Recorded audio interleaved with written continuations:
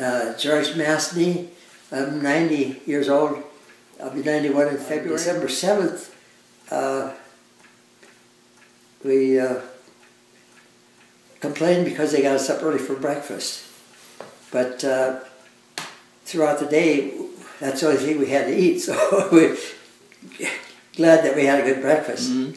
But we came back to the tent area where we were uh, sleeping because uh, we were on uh, guard duty at the time, and, and uh, the uh, we the planes were were uh, starting to come in, and we thought it was just the, the Navy practicing. We heard some uh, blasts and, and thought the Navy was uh, doing something, and so we didn't realize what it was until the the dive bombers peeled off and, and went up in the air, and we could see the red balls of the Japanese insignia on the wingtip, and, or the wings rather, and, and uh, that's when we knew the Japanese were attack were attacking it, and so uh, we head for cover, and, uh, we uh, uh, they came in strafing and, and bombing, and, and uh, all we had was some Springfield rifles rifles that were pretty old fashioned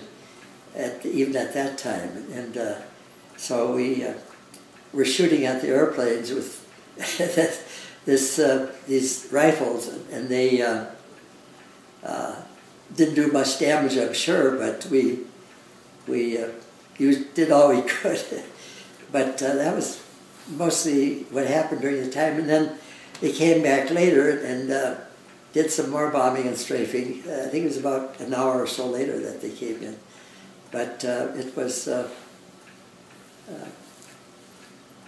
exciting. well, we saw there was a lot of smoke coming up, of course, and but uh, uh, we didn't realize, you know, how many ships they'd they'd uh, sunk or what had happened there. But we knew that they did a lot of damage there, but we had no idea the, the extent of it.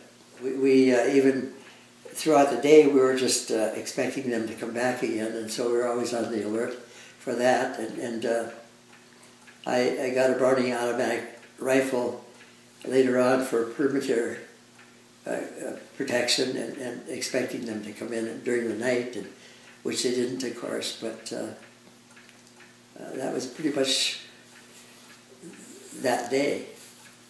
And then the next day we uh, we uh, were getting ready to move to the windward side of the island over to Bellows Field. where The whole squadron was moving over there.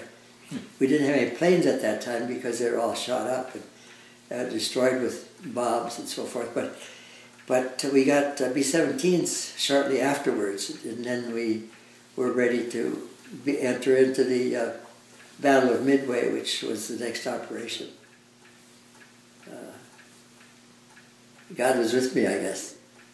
Realized that He had been watching over me as, as uh, uh, being able to not be wounded or, or, or killed during that time.